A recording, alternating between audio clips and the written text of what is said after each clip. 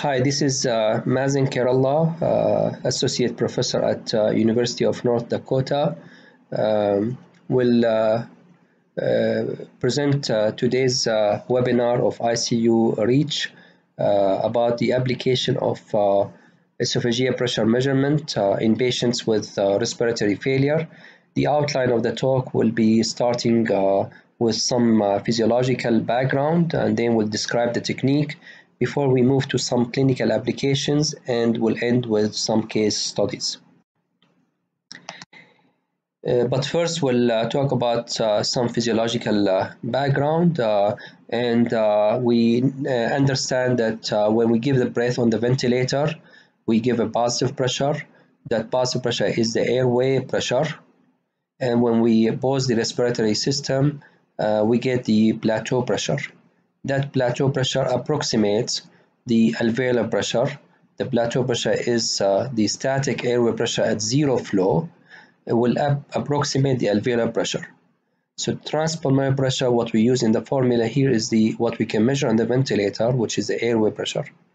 So the airway pressure at zero flow, which is the plateau pressure, minus the pleural pressure will give you the transpulmonary pressure, and that's what we'll be talking about in this session.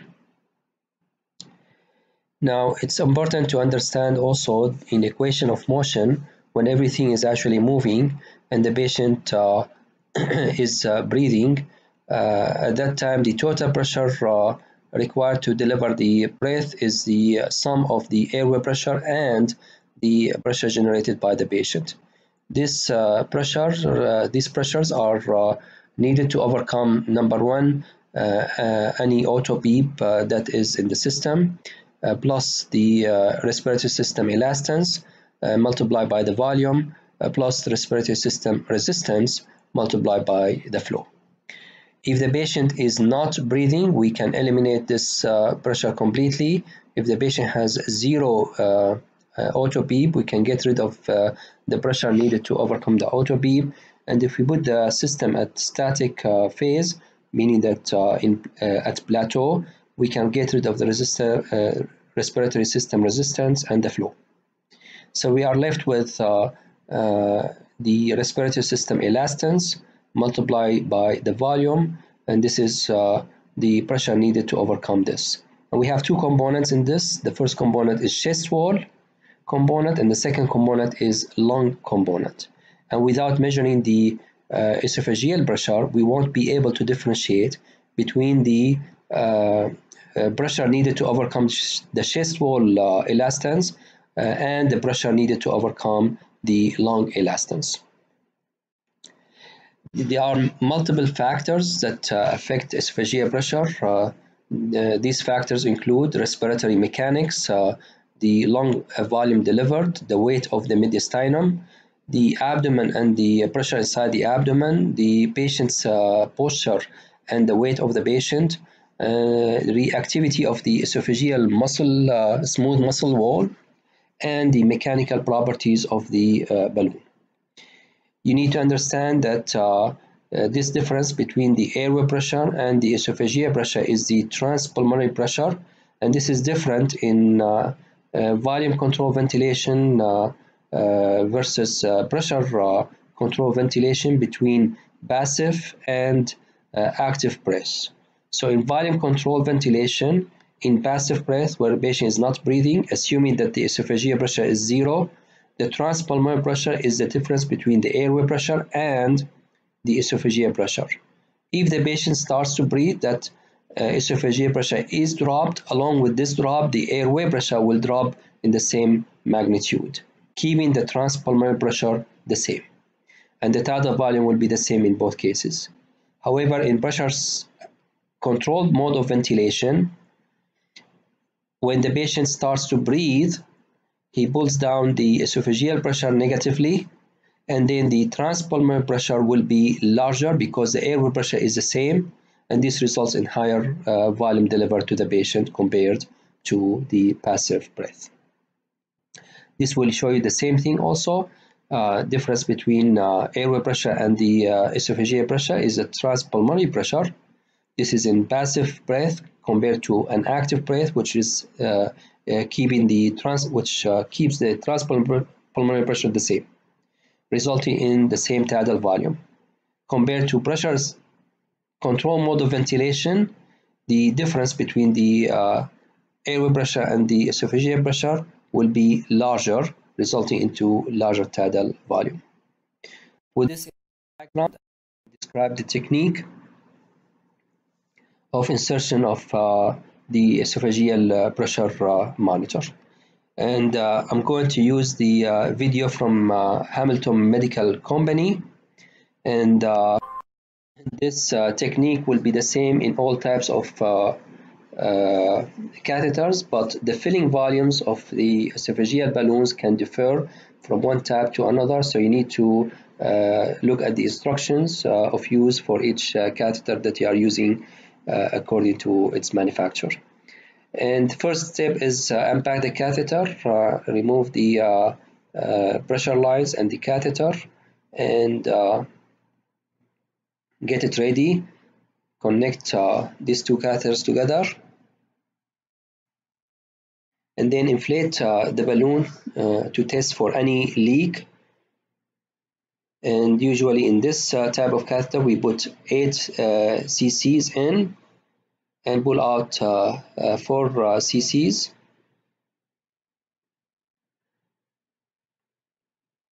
so get out 4 and then lock it. So after testing the balloon if everything is fine you connect the ventilator connection line into the pressure port of the ventilator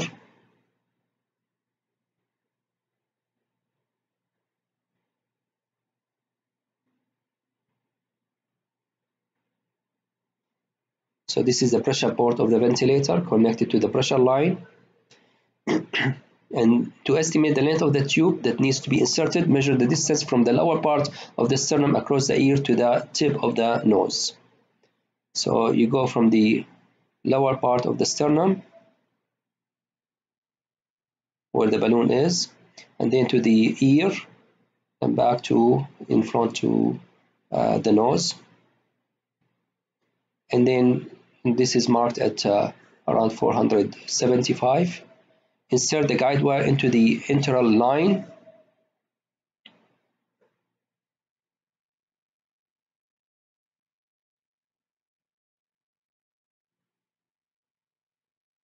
and then uh, uh, to make it easier you uh, uh apply either gel or uh, silicone spray to the catheter. And you insert it uh, in a similar way as any nasogastric tube. You put the patient in recumbent position. And if you face any resistance you can just turn the catheter to the left or to the right to the right and then advance it uh, all the way uh, passing the uh, mark that you made for the length of the catheter. So you go if it was 475 you go to 500 for example. So you can get to the stomach and test the catheter first in the stomach. So now we are uh, at uh, 500 uh, mark. Uh, check the ventilator display to make sure that the esophageal pressure curve is at zero to avoid any technical uh, misreadings and here where you see the uh, pressure uh, is at zero and then connect the three-way stopcock of the nasogastric catheter to the ventilator connection line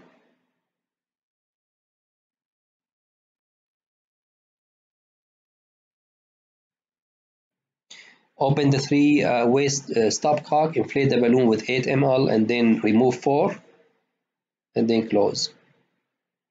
So here, okay, make sure the balloon deflated first and then you put in uh, 8 cc's and then get out 4 and then open it uh, to the pressure uh, line.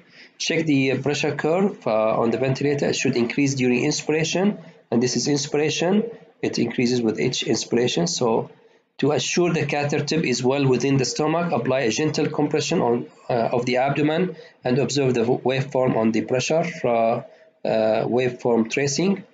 You can see here, let me stop it for you. You can see how when we apply a gentle pressure on the abdomen, the uh, esophageal pressure goes up on the uh, esophageal pressure tracing.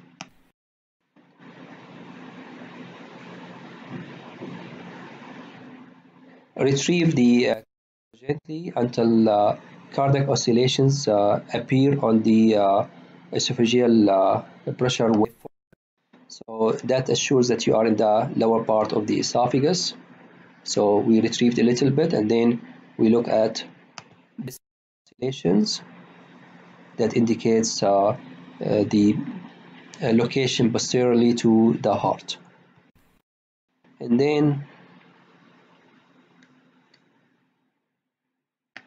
We perform an occlusion by compressing the patient's chest during an expiratory hold maneuver. The esophageal pressure and the airway pressure waveforms uh, should display similar changes if the catheter is positioned correctly. Oh, and this is a, in a patient who is paralyzed. So what you see here on the uh, you put an expiratory hold first for a few seconds. You push on the chest and you should see that there's an increase in the airway pressure similar to the increase in the esophageal pressure. So you can see here that this increases are the same and that uh, confirms that the catheter is in the right place and then you uh, just affix it to the tip of the nose uh, and you uh, remove the guide wire out of the uh, tube and you cover the caps uh, at the end. So it's very simple, uh, relatively simple procedure. It has to be done, takes like five to seven minutes altogether if there is no complications. And then you can do a chest x-ray to confirm the right placement of the uh, nasogastric tube uh, just uh, behind the heart. And you can notice here that there's another tube uh, inside the uh, stomach that serves for other purposes. Some of the catheters are equipped in providing a uh, nasogastric tube at the same time, along with the esophageal balloon monitor. Now, in a patient who's uh, spontaneously breathing, uh, you uh, uh do uh, an occlusion test, uh, expiratory occlusion test. If the patient is spontaneously breathing, the esophageal pressure will drop at the same magnitude as the drop in the airway pressure. what we did on the previous example, in a patient who is paralyzed, we put a compression external compression on the chest and what we noticed after occluding uh, the uh, expiratory uh, port with expiratory pause uh, we will see that uh, the rise in the esophageal pressure is similar to the rise in the airway pressure. This confirms that uh, the catheter is working well and we can interpret the measurements by the catheter. So this is putting it together. this is the airway pressure, this is the flow, esophageal pressure here and transpulmonary pressure. We read transpulmonary pressure uh, at the end of uh, uh, expiration when the flow is zero. So at this point, the flow is uh, zero and uh, corresponding to this point, the pressure is 14, which is the PEEP level. And the esophageal pressure here is 17, so the transpulmonary pressure will be 14 minus 17 is minus 3.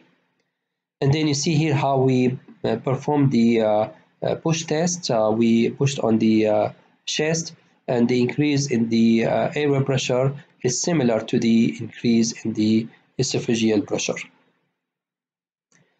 With this, uh, we can go into the clinical applications uh, of uh, the esophageal pressure measurement. And we will be talking about four different clinical applications. The first one is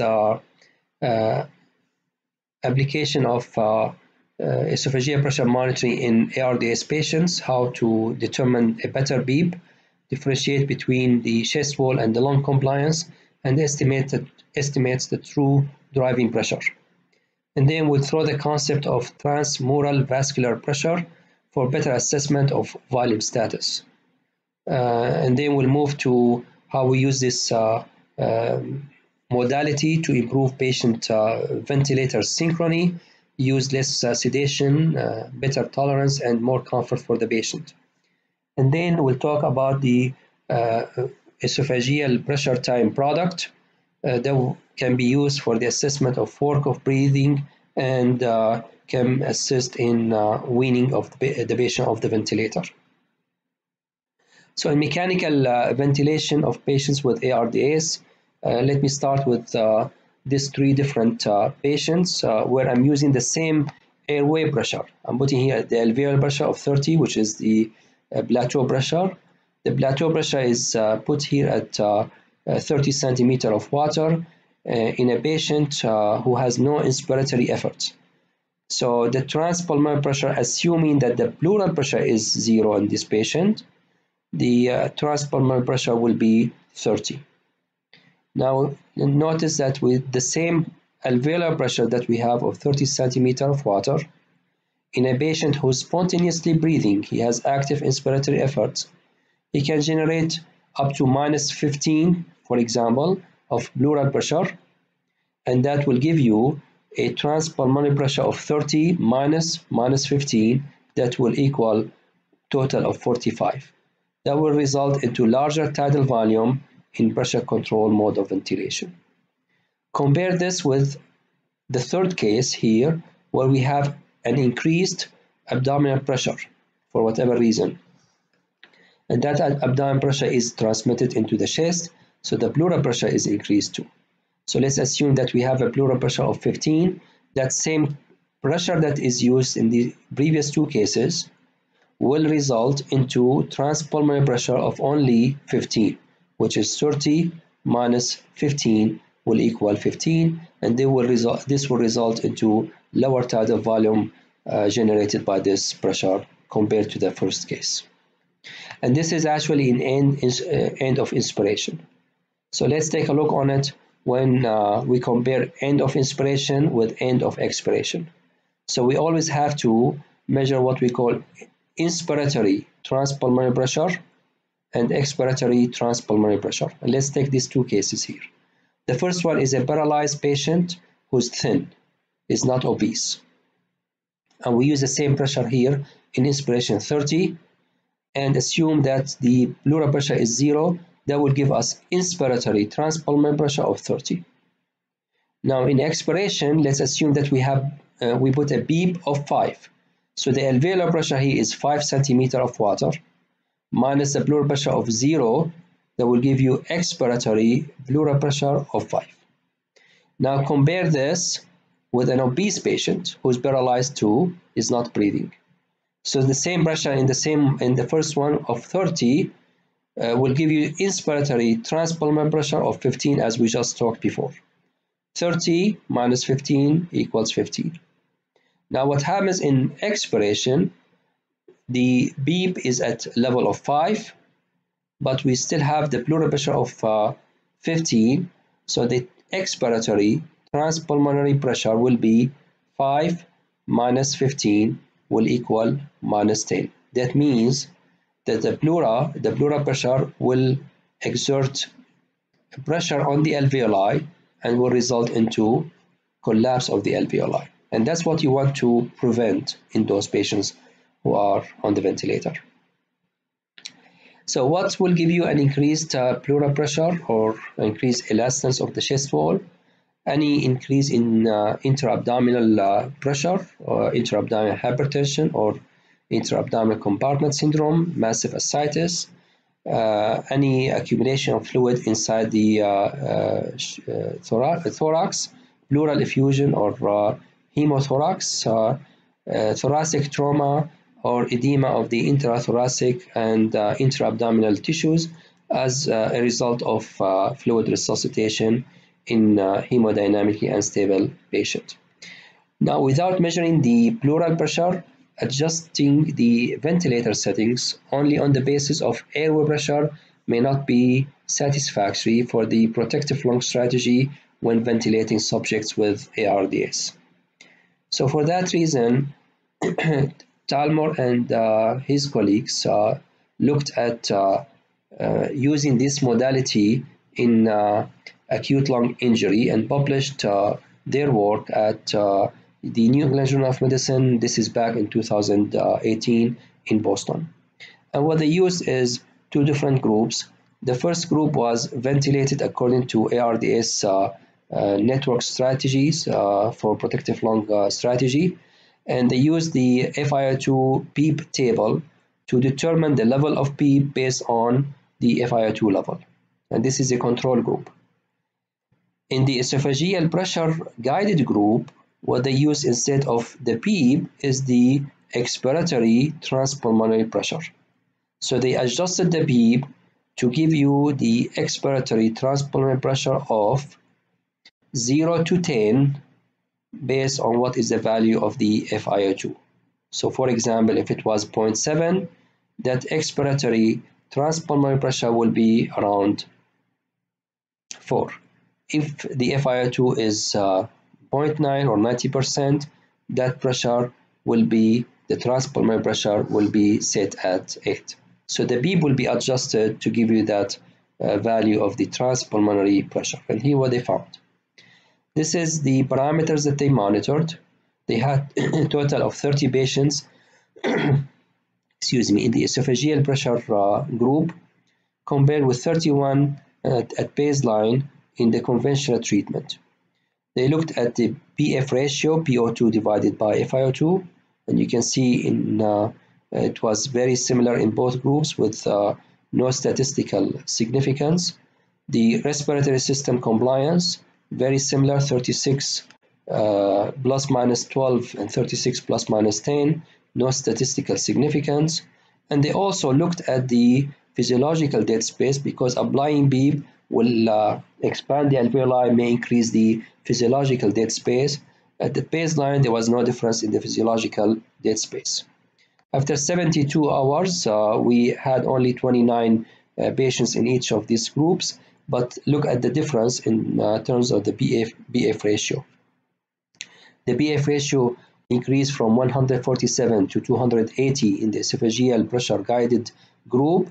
In conventional treatment increased from 145 to 191.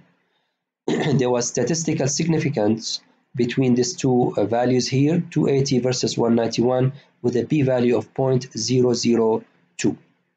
At the same time, there was statistical significance in the improvement of the respiratory system compliance between 45 and 35. In the conventional uh, treatment group, it did not differ much from the uh, baseline. However, in the esophageal pressure-guided uh, group, it went up from 36 all the way to 45 uh, in terms of the compliance. The statistical significance is uh, manifested here with a p-value of 0.005. And notice that despite uh, the higher uh, uh, PEEP in this group, uh, the physiological dead space did not change. The difference between the two groups was not statistically significant. At the same time, they looked at the mortality, but the study was not powered to uh, uh, to uh, look at uh, uh, whether this is uh, powerful enough to uh, determine the uh, differences.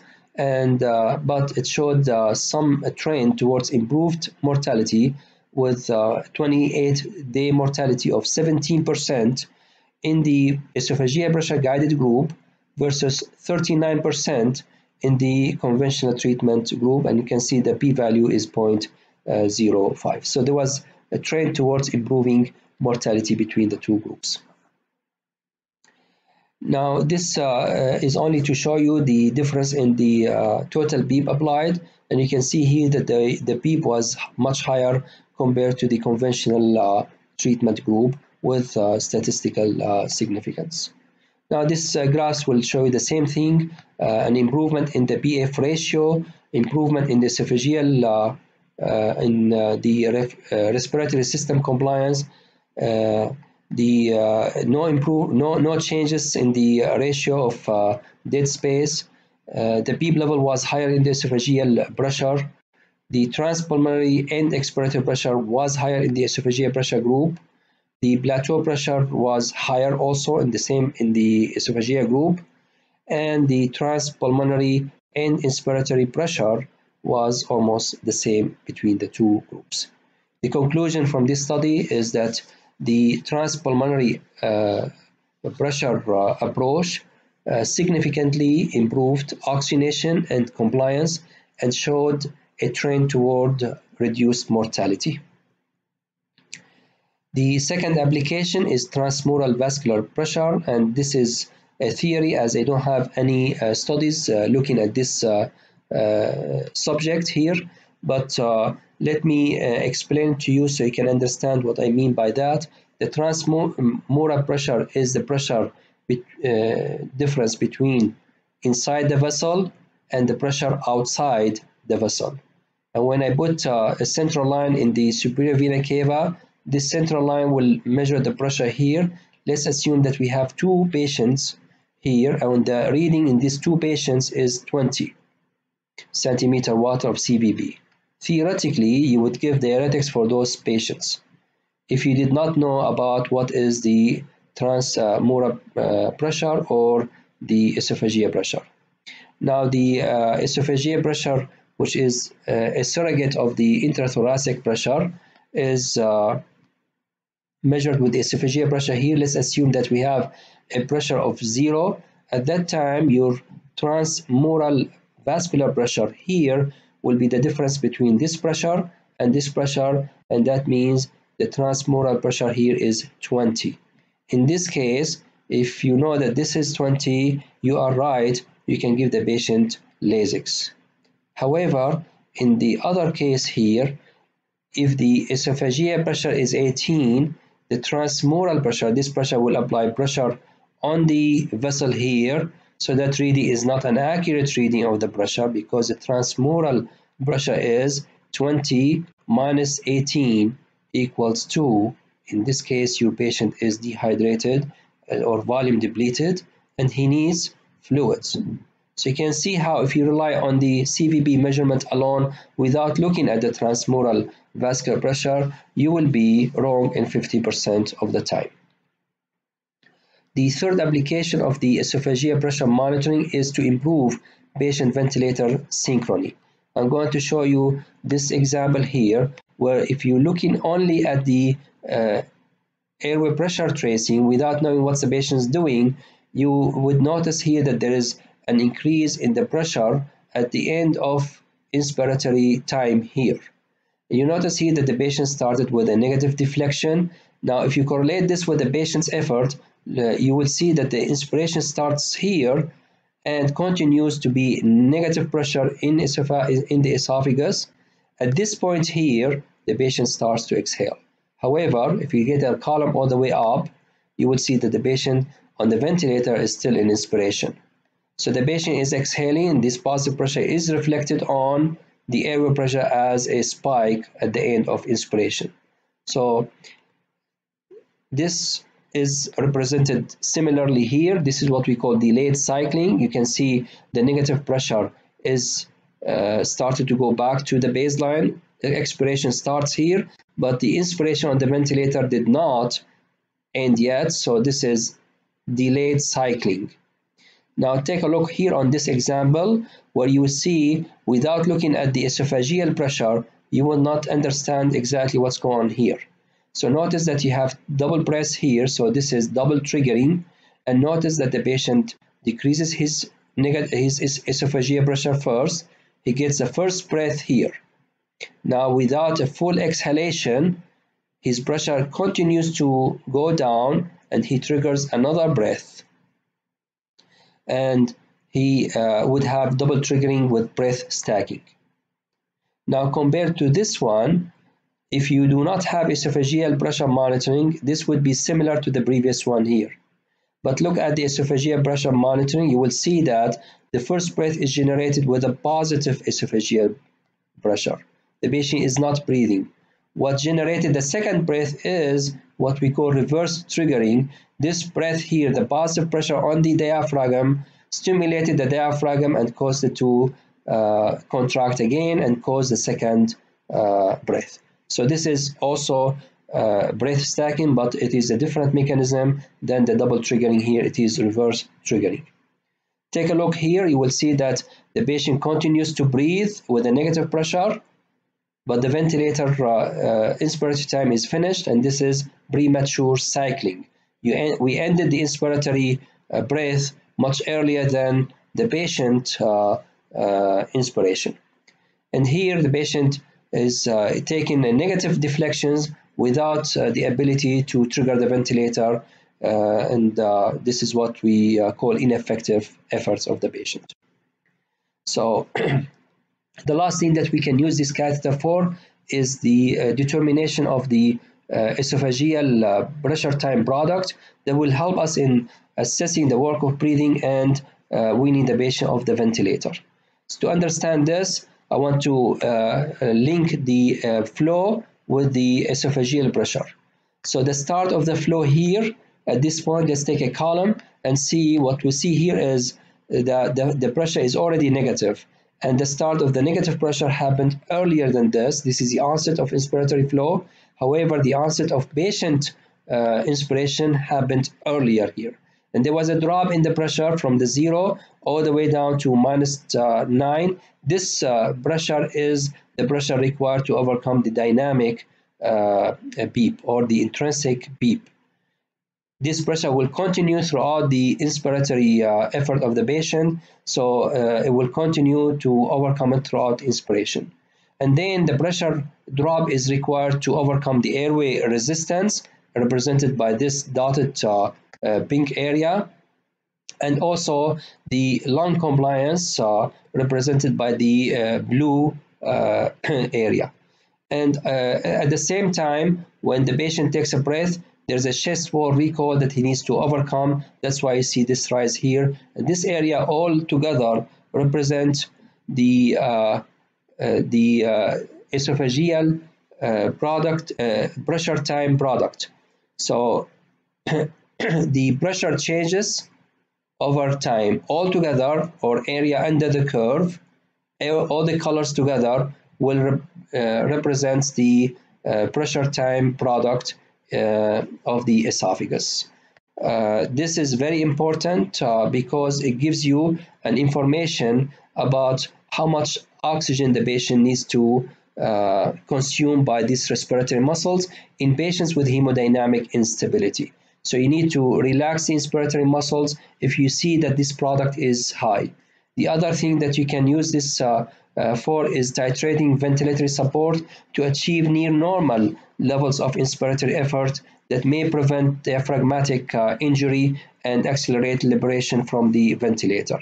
It can also be used in, uh, uh in detecting injurious patterns of uh, ventilation in patients with ARDS but the most important use for this is with weaning trials. And this is demonstrated by the work of uh, uh, Dr. Tobin and his colleagues published uh, in 2005 where they looked at uh, the swings in esophageal pressure during the uh, weaning trials.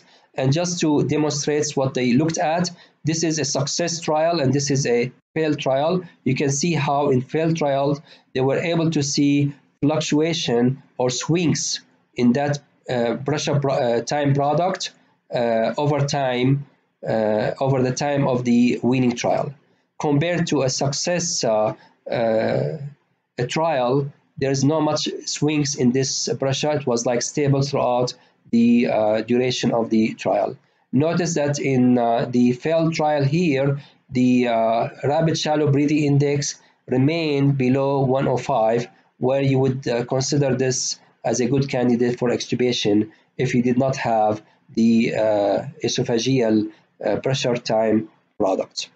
And when they put uh, their uh, work together and looked at the sensitivity and specificity, they found that the esophageal pressure uh, time product uh, trend index is very highly sensitive at 90, 91% and specific at 89% compared to the rapid shallow breathing index at 82% versus 67%. The likelihood that uh, um, the patient will uh, succeed weaning if you use this uh, modality is 8.2 uh, higher times than uh, uh, if you if you use the only the esophageal swing during the first minute. So you need to do it over the duration of the weaning trial. It is four times more than if you rely only on the uh, rapid shallow breathing index. They concluded that continuous monitoring of esophageal pressure swings during a spontaneous breathing trial provides additional guidance in patient management over test used for de deciding when to initiate weaning and when to extubate your patient. So with this, the uh, uh, European Society of Intensive Care uh, medicine put some guidelines that uh, will guide us actually in uh, determination of what are those pressure values that we need to measure uh, when we uh, use this modality guiding the ventilatory support. So the first one is we need to target transpulmonary and inspiratory pressure less than 20 centimeter of water. This is mainly to, over, to avoid overdistension. The second uh, uh, thing is we need to uh, keep the transpulmonary and expiratory pressure between 0 and 5. You can go up to 10 as we mentioned in the study. This is mainly to avoid lung collapse. And then we can calculate the what we call the true driving pressure or the transpulmonary driving pressure. It's simply the transpulmonary and inspiratory pressure minus the transpulmonary and expiratory pressure and you can keep this value between 10 and 15 uh, to uh, for optimal uh, ventilator support for your patient. So let's use this in our examples here. I'm going to present few case studies. The first one is a, a patient who is uh, 78 year old who uh, is admitted with worsening respiratory distress and hypoxemia. And he's on FiO2 of 60%, a PO2 of 63%, uh, 63 millimeter mercury. When we did a chest x-ray for this patient, you can see that the patient has bibasilar infiltrates, but I don't see the bilateral pulmonary infiltrates that are actually uh, consistent with ARDS pattern. For that reason, we decided to do uh, a CT scan to rule out pulmonary embolism and uh, there was no pulmonary embolism but we noticed bibasilar infiltrates and some infiltrates that is actually caused by atelectasis and some pleural effusion minimally in both uh, bases.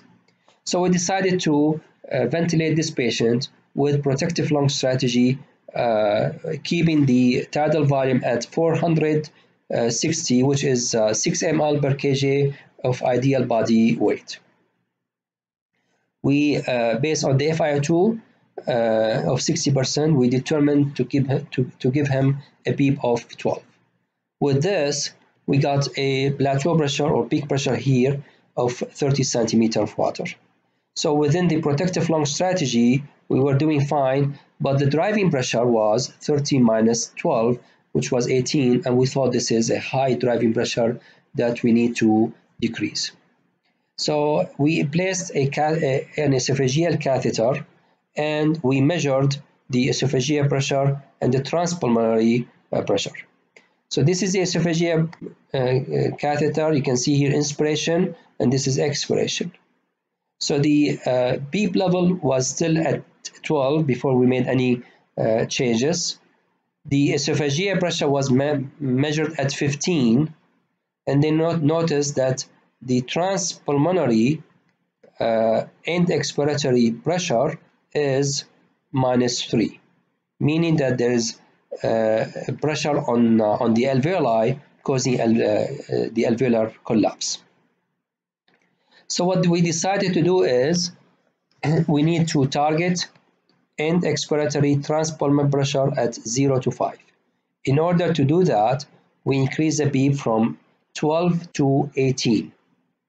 And with PEEP of 18, the uh, uh, peak pressure remained at 30 and the transpulmonary pressure right now is plus 1. So we achieved the goal and that is giving us driving pressure of 30 minus 18 equals to 12. In order to confirm this, we, want, we, we had to do the expiratory and inspiratory hold. In order to get the trans, expiratory transpulmonary pressure, we need to put a hold in the system in expiration for a few seconds. Three to five seconds would be enough. And that's what we did here. And we put the hold in expiration and uh, we measure the pressure at zero flow. So this is the zero flow here. So that end expiratory pressure is 18.5. The esophageal pressure is 16.9 and the transpulmonary pressure is exactly at 1.6. At the same time, we wanted to put an inspiratory hold for a few seconds and measure the transpulmonary uh, pressure uh, in inspiration. And this is the inspiration, you can see the peak pressure, and this is the hold, zero flow. The peak pressure went down slightly, eliminated the airway pressure that is required to overcome the resistance and the flow. And the plateau pressure is measured at 27.6 the esophageal pressure is inspiration is measured as at 20.7 and that gives you a transpulmonary pressure in inspiration of 6.9. So driving pressure is this pressure minus the previous pressure is very minimal driving pressure, true driving pressure, pressure on the ventilator. So this way we confirm that actually getting the air inside the lung is not because of uh, high elastance it is because uh, it is not because of high elastance of the lungs, but it is because of high elastance of the chest wall and the abdomen. And in fact, uh, this patient later went into ARDS and he had a different mechanism. So the second case is uh, a patient who, who is 62 year old with multiple comorbidities who presented with bilateral pneumonia. He had worsening hypoxemia with a PO2 of 63 and he was put on 70% FiO2.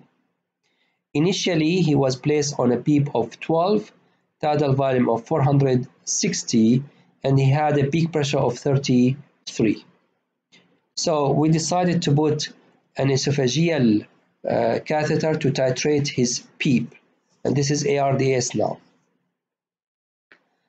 So this PEEP here at 12, we did not change it yet, and tidal volume of 460. The esophageal pressure, or first the P pressure is still at 12, the esophageal pressure is at 15.5, and notice the negative value of the uh, esophageal transpulmonary pressure, which would be the uh, PEEP level minus the esophageal pressure is, is reading at minus 3.5. So you can see it here also, the expiratory transpulmonary pressure of minus 3.5. So what does it mean? It means that this pressure is going to uh, put pressure on the uh, lungs and will cause lung collapse. What is the intervention that we need to do? We need to increase the PEEP. So the PEEP needs to go up so we can make this expiratory transpulmonary pressure a value between 0 and 5. So we went up to, the, to a PEEP of 16. But notice first that the peak pressure was here 33. When we went up to 16, the PEEP is at 16 right now. The esophageal pressure is reading at 15.5. The transpulmonary pressure is now uh, very close to zero, minus 0.5. However, take a look on the plateau pressure. The peak pressure is 42 and the plateau pressure is 40. And when you wanted to measure the driving pressure, uh, the, the driving airway pressure, the difference between the plateau and the PEEP, it is 24. And even the true driving pressure, which is the difference between the inspiratory transpulmonary pressure of 23 minus expiratory transpulmonary pressure of minus 1.3 the true driving pressure is also 24, which is very high.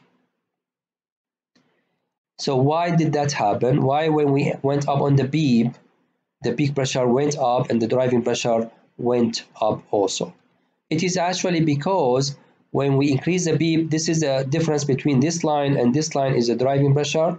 When we increase the PEEP to 16, we push this one here and now we're delivering the same tidal volume so that driving pressure is actually needed much higher because we're reaching the over uh, uh, distension area of the lung too much pressure to deliver the remaining air okay. so for that reason we decided to go down the tidal volume so we can move that uh, uh pressure to the left so the tidal volume now is set at 5 ml per kg down to 380. Notice that we were able to go down on the peak pressure to 37 and probably the plateau pressure was uh, around uh, 32 or 33. With this, the expiratory transpulmonary pressure is within the value of 0 to 5 and the inspiratory transpulmonary pressure is less than 12 in fact it is 16 the driving pressure is less than 15 and the true driving pressure is 16 minus 1.1 it is around 15 so it is actually safe tidal volume knowing that the driving pressure is less than 15 so despite uh, despite uh, the fact that we have a high uh, plateau pressure here we are determining the safety of the volume by looking at the difference between the transpulmonary pressure in inspiration and transpulmonary pressure in expiration. The third case will uh, uh, go through chest wall mechanics once more in a patient who is very obese. And this patient is 59 year old, morbidly obese, female who, who was admitted to the intensive care unit with respiratory failure and sepsis. The initial settings were with a PEEP of 15, FiO2 of 60%, and and the tidal volume of 510. You can see that in order to get that 510, we have a peak pressure of 39, and the plateau pressure is probably around 30. We decided to put an esophageal uh, monitor and that esophageal monitor was reading esophageal pressure of 27. Look at how negative the end expiratory transpulmonary pressure. It is actually reading at minus 12. Despite the fact that the inspiratory transpulmonary pressure is 2.8, however, the the transpulmonary the driving pressure is 2.8 minus minus 11 is actually around uh, 14. So what we did here is first we increase the PEEP from 15 all the way to 22 and the esophageal pressure is reading at 27.8 we were able to improve the transpulmonary pressure in expiration however it is still in negative value. We need it to be 0 to 5 so we can avoid any lung collapse. But at the same time, look at the extremely high airway pressure and plateau pressure. So the peak pressure is 54 and the plateau pressure is above 40. So without knowing the esophageal pressure, there's no way for you to know that those extremely high pressures are needed for the patient and are safe. At the same time, you look at the transesophageal pressure in inspiration, you should look for a value less than 20 and his pressure is 17. However, the true driving pressure for him is still elevated, 17 minus minus 5.4 or 5.9 it will give you true driving pressure of 23 and the target should be less than 15. So for that reason, we decided to go up higher on the PEEP to 25. And we went to the PEEP of 25, the airway pressure decreased. So what happened is the reason why the airway pressure decreased is because of lung recruitment. And notice that the driving pressure is decreased with this. You have esophageal pressure of 27.8 still. The transpulmonary pressure in expiration is minus 1, but the driving pressure difference uh, or the true driving pressure, the difference between the inspiratory uh, transpulmonary pressure and the expiratory transpulmonary pressure is now around 15, which is acceptable. So the final settings were uh, at that time after recruitment uh, uh, completed, we were able to go down on the PEEP to uh, 22 and uh, keeping the respiratory system driving pressure at uh, 20 or less than 20 in inspiration and the transpulmonary driving pressure 15.5 which was very acceptable acceptable in this uh, condition. With this i would like to conclude to say that excessive lung stress and strain is harmful regardless of how generated how they are generated limiting tidal volume and plateau pressure do not always ensure safe ventilation if you do not measure esophageal uh, pressure. Transpulmonary pressure monitoring allows tailoring ventilator settings to optimize ventilation and reduce harm. With this, I would like to conclude my presentation and open the uh, uh, session for uh, any questions that you can send Uh, through the chat system. Thank you very much.